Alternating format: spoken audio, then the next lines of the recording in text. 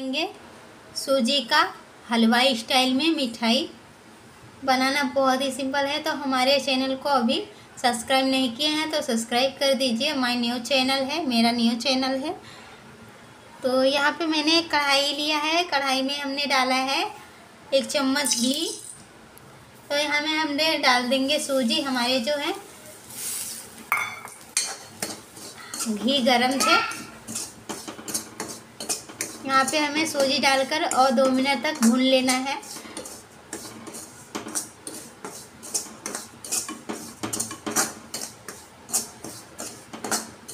बहुत ही फटाफट ये मिठाई बनकर रेडी हो जाती है।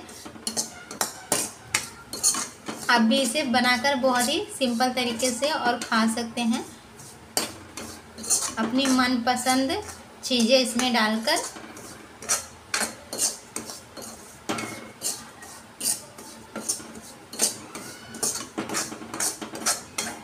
इसे ज़्यादा जलाना भी नहीं है और इस तरह से थोड़ा हल्का सा कलर चेंज हो जाए तो इसे हम प्लेट में ट्रांसफ़र करेंगे। प्लेट में निकालेंगे इसे। तो हमें ज़्यादा ब्लैक नहीं करना है तो हम इसे प्लेट में निकाल लेंगे अब चम्मच की मदद से। नहीं तो तो यहाँ पे मैं चाशनी बनाऊँगी। तो चाशनी हमने, चाशनी बनाने के लिए यहाँ पे आधा गिलास पानी ऐड किया है। और इसमें डाल देंगे शक्कर। डेढ़ कप शक्कर। आप अपने हिसाब से कम ज़्यादा मीठा कर सकते हैं।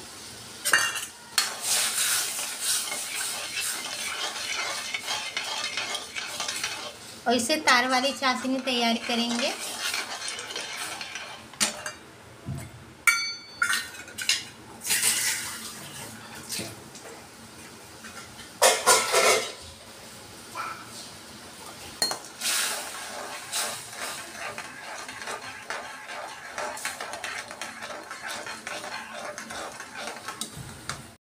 और तो देखिए, हमारे चाशनी अच्छे से पक चुके हैं।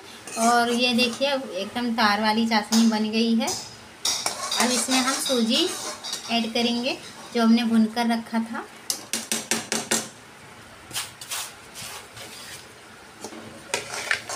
और इसे मिक्स कर देंगे। इसमें डाल देंगे नारियल, जो हमने कद्दूकस करके रखा था। इसका टेस्ट अच्छा आता है मिठाई में।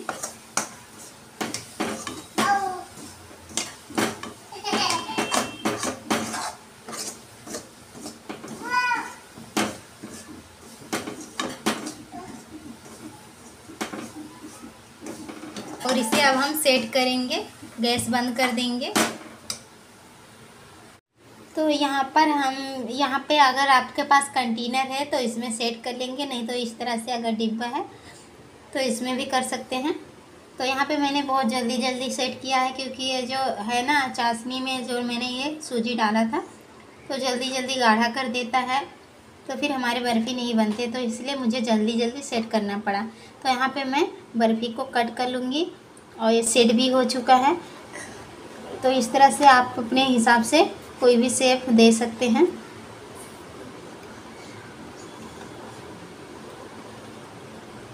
बहुत ही आसानी है बनाना इसे और खाने में बहुत ही अच्छा लगता है।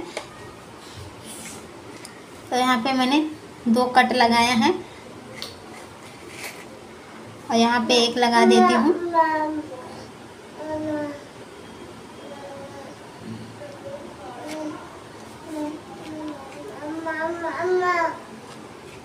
और ये हो चुका है इसे मैं कैसी लगा हमारी ये रेसिपी आप लोग को कमेंट में ज़रूर बताएँ। और हमारे चैनल को सब्सक्राइब कर दें लाइक कर दें शेयर कर दें। माय न्यू चैनल है। और ज़्यादा से ज़्यादा सपोर्ट करें। आप लोग बहुत ही कम वीडियो देखकर चले जाते हैं आधा अधूरा छोड़ के तो ऐसा ना करें।